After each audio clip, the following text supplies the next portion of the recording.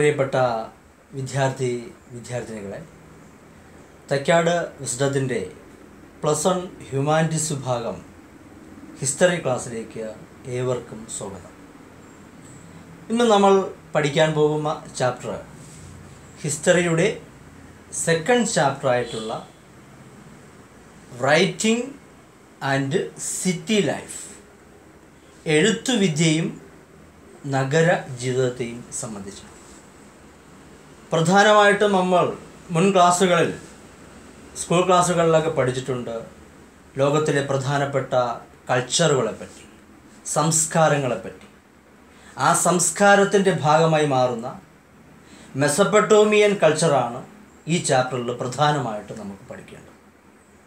സംസ്കാരത്തിലേക്ക് നമ്മൾ പോകുമ്പോൾ ലോകത്തെ ഗതിവിഗതികളെ സ്വാധീനിച്ച ഒരുപാട് സംസ്കാരങ്ങളുണ്ട്.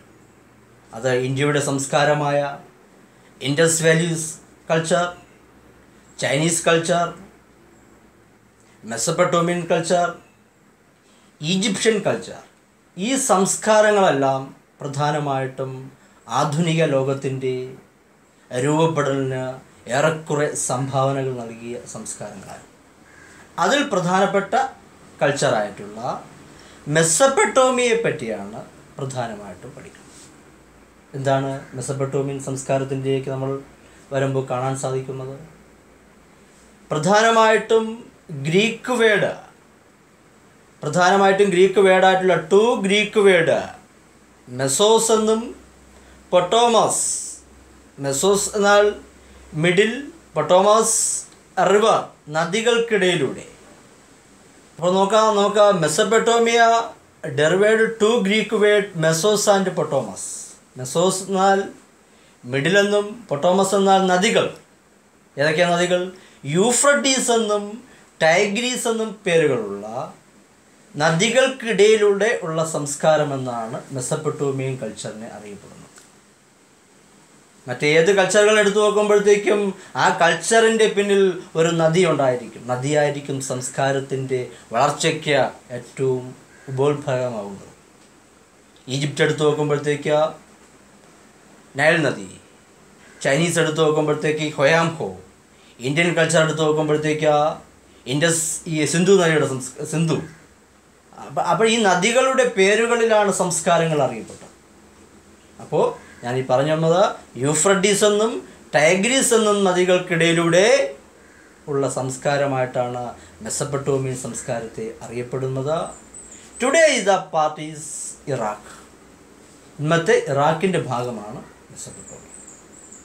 ഇനി ഈ സംസ്കാരം ഈ കൾച്ചർ പ്രധാനമായിട്ടും ലോകത്തിന് writing city life trade mathematics astronomy ഇത്തരത്തിലാണ് എഴുത്തുവിദ്യ നഗരജീവിതം വ്യാപാരം ഗണിതം വാനനിരീക്ഷണം തുടങ്ങിയ മേഖലകളിൽ പ്രധാനമായിട്ടും ഒരുപാട് സംഭാവനകൾ ലോകത്തിന് കൊടുക്കുവാൻ ഈ കൾച്ച ഈ കൾച്ചറിന് സാധിച്ചിട്ടുണ്ട് അതിൽ നമുക്ക് ഓരോ പാർട്ടുകളായിട്ടാണ് ഇനി പഠിക്കേണ്ടത്.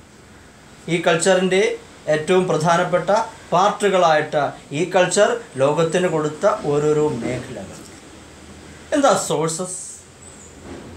ഓരോ സംസ്കാരങ്ങൾ നമ്മൾ പഠിക്കുമ്പോൾ ആ സംസ്കാര ഹിസ്റ്റോറിയൻസിന് ചരിത്രകാരന്മാർക്ക് പ്രധാനപ്പെട്ട സോഴ്സസ് വേണം നിഗമനങ്ങൾ വേണം ഉറവിടങ്ങൾ ഒരുപാടുണ്ടാകാം.